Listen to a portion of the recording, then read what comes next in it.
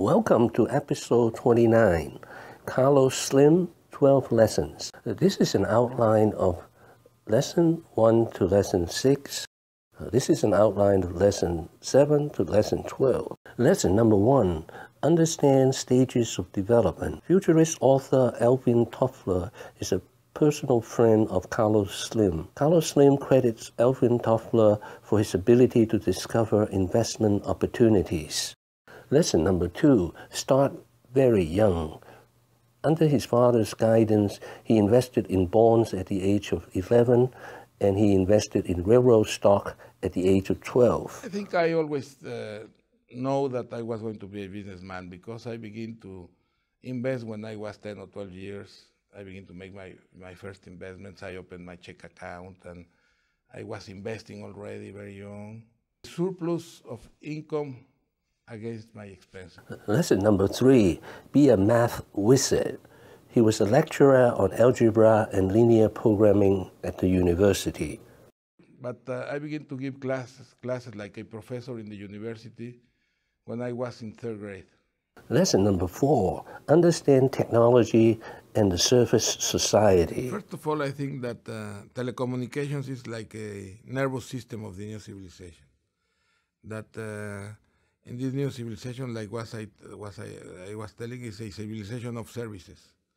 Technology has gone so so so far that productivity is very high, and when you have productivity very high, you can create goods and services very very low cost and very in very important scale. That means that uh, people don't need to work so much, so much time, and uh, the productivity is so high is create wealth more easy.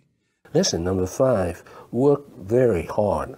Lesson number six: move very fast. You can develop the company.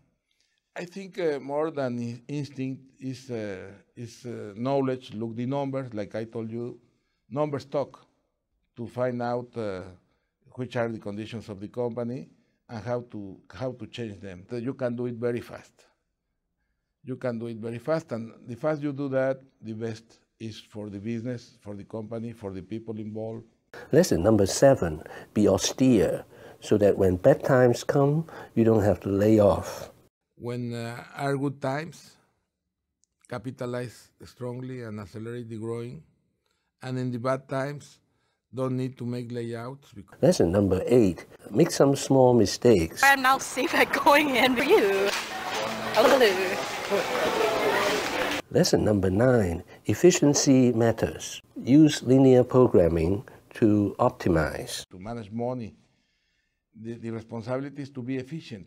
My thesis is about uh, linear programming, and that's operation research, that uh, uh, is to to optimize functions, optimize results. That one engineer is someone who makes with one dollar what others that are not engineers make with two dollars. Lesson number ten: Be investor, not speculator. Are very euphoric, very positive, very optimist, and you get to the euphoria, and everything go up, up, up, and a lot of inflation of assets and crazy things. And in the other way, you are pessimistic, you are depressed, and everything is bad, everything will become worse, and you get out of everything anytime, any price. That's completely irrational. We don't we don't worry about uh, the, the, what is happening because there is a a crisis today, like it was the '95 crisis. We invest more.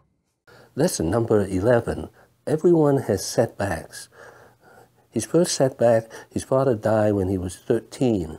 His second setback, in 1997, he had heart surgery. His third setback, in 1999, his wife died. He would build her a museum.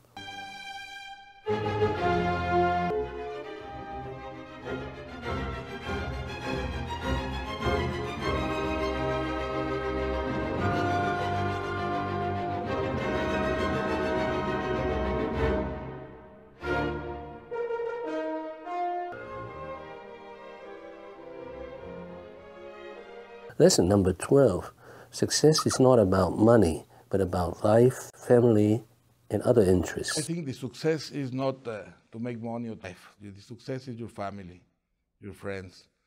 In this way, I think I am very success. I have been very success because of my fathers, my sisters, my brothers, and especially because of my, my family, my children, my wife. Thank you for watching. Please leave your comments and questions below. Wishing everyone peace and prosperity.